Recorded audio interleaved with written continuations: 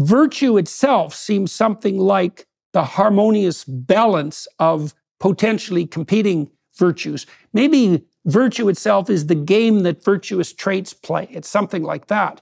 And then, so you can't reduce it to any one thing. You can't say, well, the most aggressive guy is the best, or the most intelligent guy, or the most cooperative guy, or the best looking guy, or any of that. It's not reducible to a single dimension, no matter what the dimension is.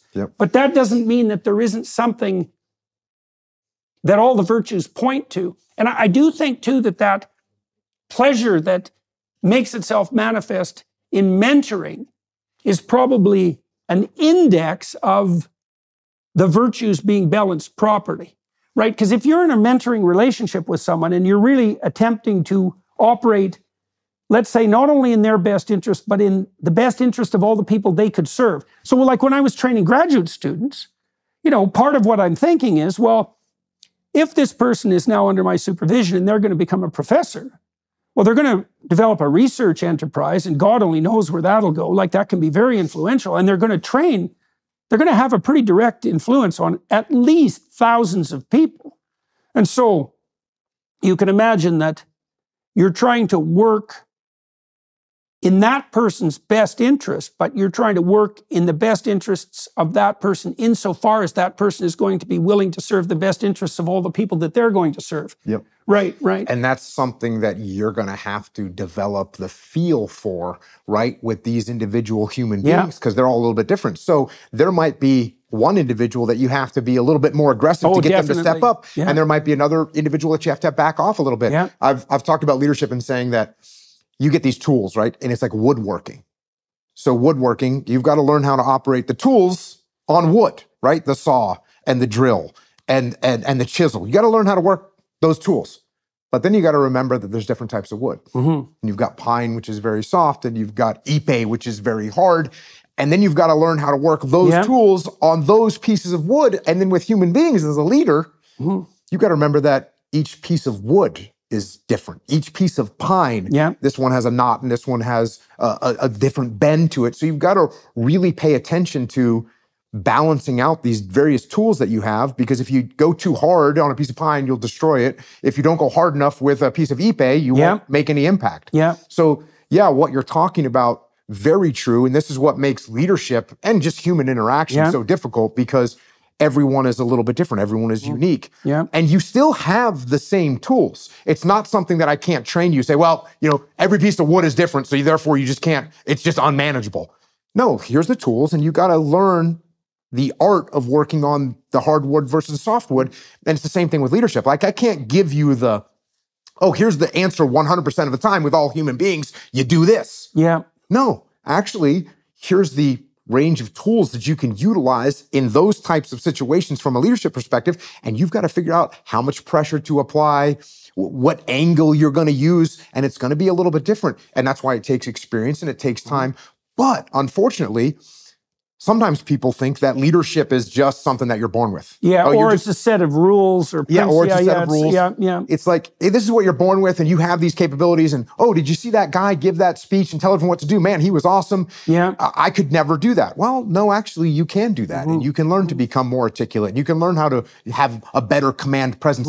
Are you going to have the same command presence that that charming and charismatic individual had?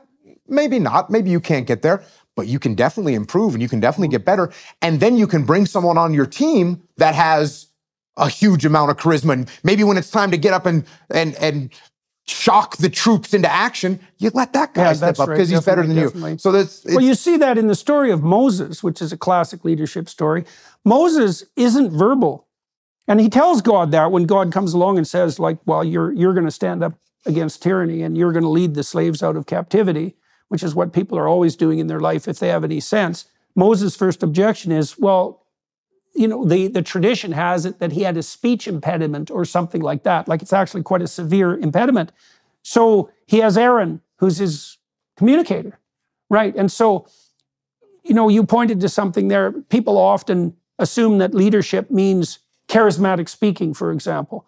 Well, the kind of public communication leadership that you and I are doing depends on that. But that's by no means the only way of being an effective leader.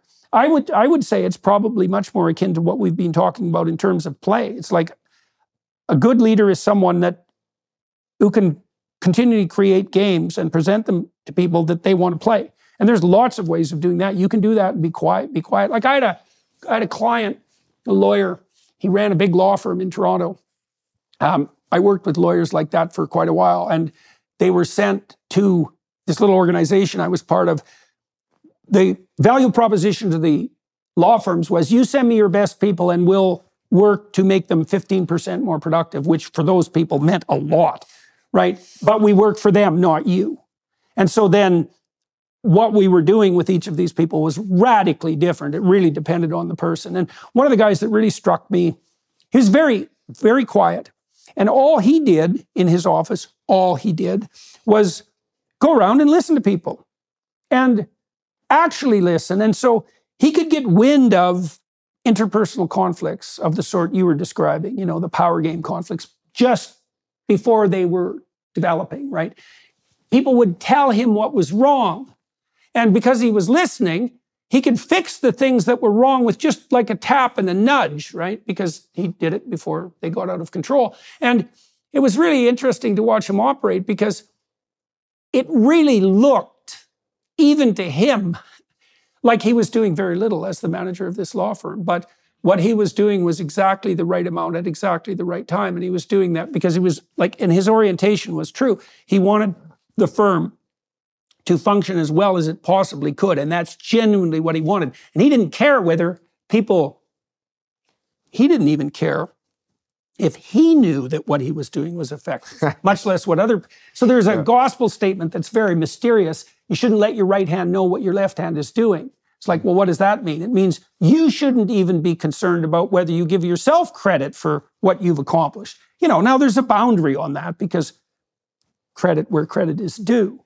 But if you're undertaking the task just so that you feel better about yourself in your own eyes, you're contaminating the motivation. Yeah. The better motivation is this mentoring motivation. And I think it really is. It's a cause for optimism that that's such a deep source of meaning, you know, because you know as well as I do that there are lots of young people, we'll talk about young men for a moment, who feel lost. Like, where am I going to find the meaning in my life?